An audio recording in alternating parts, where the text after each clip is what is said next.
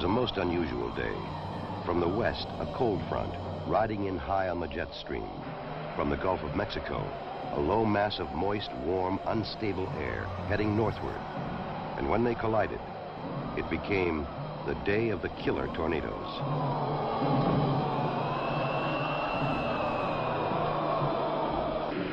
From early morning, the Weather Service warnings were out. From the Gulf to the Canadian border. Tornado warning. Tornadoes are hitting Tennessee, Georgia, Ohio, two in Illinois, two more in Indiana.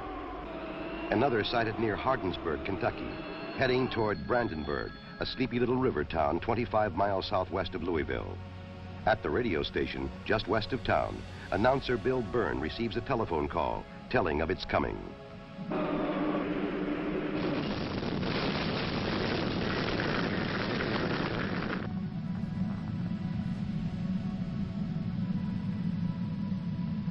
The only warning, a last second shout, and in 30 seconds, 31 people will die.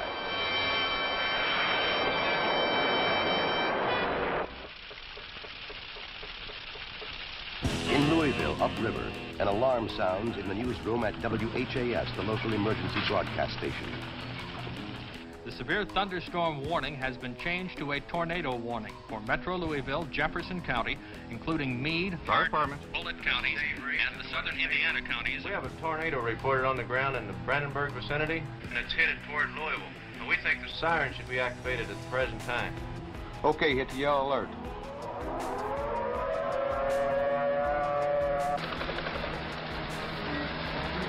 Okay, Dick, uh, what can you see at this point? Well, it's a spectacular sight. Uh, the low clouds, very black low clouds. Uh, at the moment, they're just about over Bowman Field, and it is swirling around, and uh, it looks like uh, smoke underneath it. It's still turning in a lot. Yes, there's one now. But here comes the wind. Good gracious sakes alive. There's 50 right there. By golly, the whole thing's going, here I'm going, good. The huge funnel touches down at the state fairgrounds south of the city, then heads direct for downtown.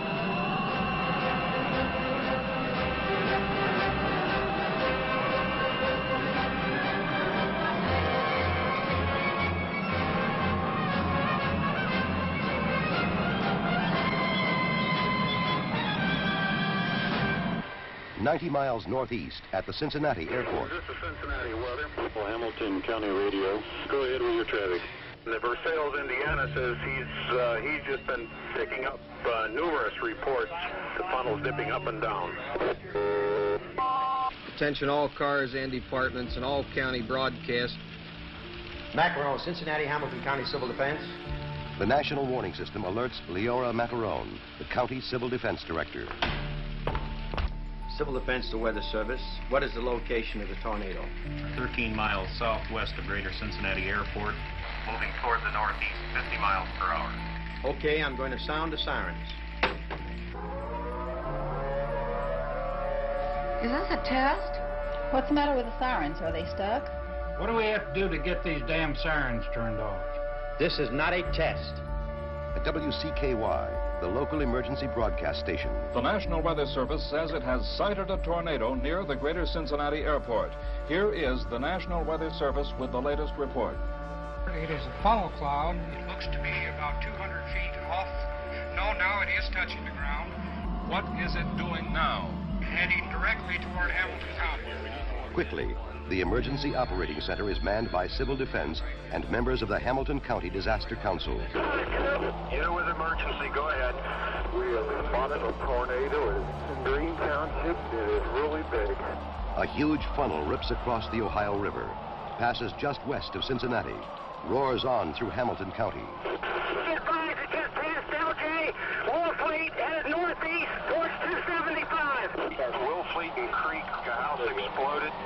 460. Creek and Plainfield is a shambles. 962, go ahead. This whole neighborhood, uh, Hutchison Road, has been wiped out. Houses leveled, wires, poles, and uh, power down. You better send everything you can get over here. Everything we got's rolling, 962. The Hamilton County Elmwood Police Chief. This is a disaster area. Disaster area. They're alive Cincinnati and we need help. They also have the same problem, Elmwood. We're trying to see what we can do for you. Civil defense, civil defense. The city of Elmwood is requesting all possible assistance that can be rendered. They have advised that their city is now a disaster.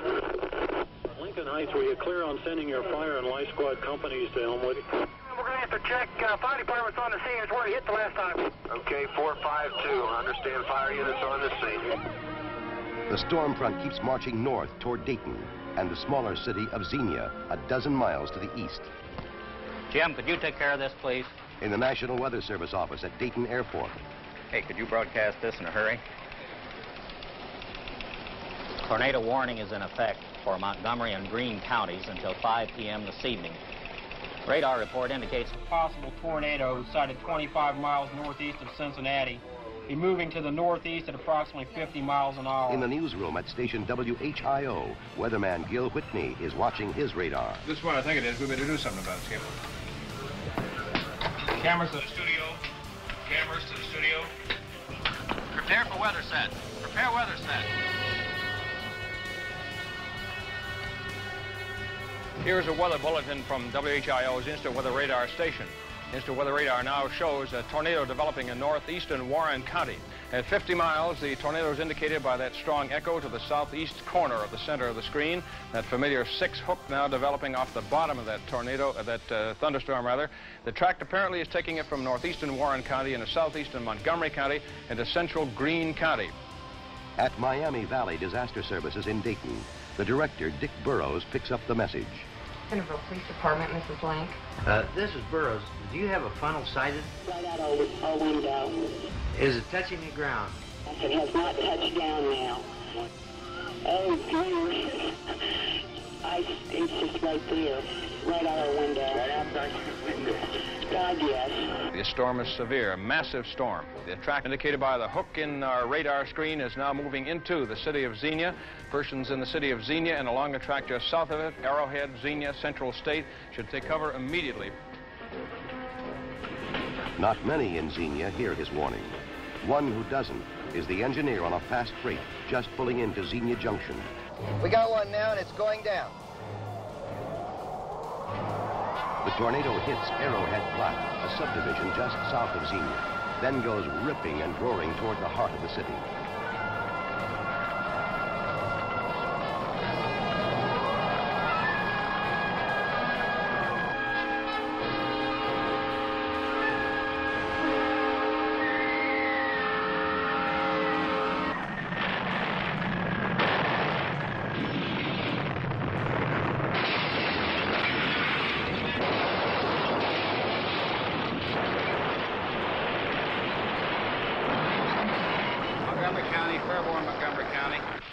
Go ahead, Fairborn. Xenia has just been hit by a tornado, and the place is torn to pieces. They're asking for fire equipment, police equipment, and ambulances. Both City Hall and County Courthouse are wrecked, and there is no emergency operating center equipped to deal with this kind of crisis. Bob Stewart and his staff find an undamaged office in the Greene County Jail and go to work by flashlight. See if you can get with the Red Cross people about what kind of sources of water and food they're going to have. Okay, I'll get in touch with Civil Defense and the Red Cross. I'm Colonel Horton from Wright Pat. Colonel, good to see you. Uh, I'm here with a convoy of heavy equipment and about 120 men. Where do you want it? The biggest thing I want to get on right now is down on West Main Street, Bob. I got four railroad cars across the street down there. I'd like to get that opened up as soon as we can. Nearly half of Xenia lies in ruins, but darkness hides the damage. And rescue workers are moving through the night, searching for injured and bodies. At nightfall, a new wave of tornadoes starts sweeping the south. In Alabama, they slash through Guin, Jasper, Lafayette, heading north toward Huntsville. A hook echo indicating tornado activity is now located over northern Lawrence County. Tornado is on the ground at Langtown, or 26 miles west of the city of Huntsville. In Huntsville, Civil Defense Director Harris Mitchell already has the Emergency Operating Center on alert. Give it to Philip and have him plot it on, on the map. Mr. Wiseman, let Here we are. Put the warning out again.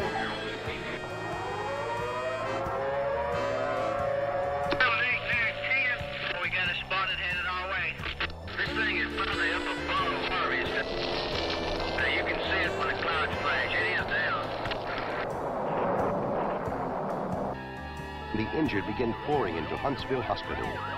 We need some help up here. We've had four different tornadoes to hit us, and there's another one on the way. Can you send us up some blood by highway patrol?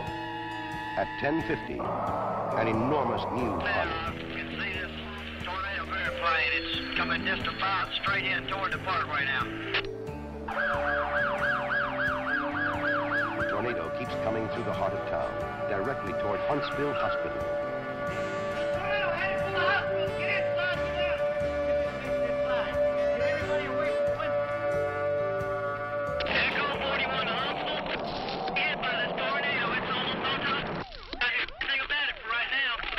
Second twister has cut through the Harvest area. The searchers find three victims, a mother and her two small children. Their bodies blown and tumbled a quarter mile through the muddy fields. A grieving father, still alive, but with a broken back. Brandenburg. It looked like this in the morning. We had a tornado. That's, that would be the understatement of the year. Oh my goodness, it just popped and cracked It's like a hundred thousand tons of bomb. Xenia. Miles of sheer destruction. I was in the Battle of St. Lo and the Battle of the Bulge in World War II, and I never saw anything like this. And we've found parts of the bodies here. Uh, we've found parts of all the bodies, but we've, we've got to go back and hunt for some more. It was just a big roar. And I, I don't know. It was just terrible. It sounded like a big train whistle, and we were right underneath the front of it. I've, I've never seen anything like it, and I don't want to again. This is what tornado winds can do. In less than 24 hours, they counted 147 tornadoes, and the damage is enormous. All in all, more than $600 million. Homes, businesses, stores, thousands of unsafe buildings to be searched, shuttered, marked off limits, and disaster for the people who owned them. What can you do? We've lost everything that we had. Help will be needed.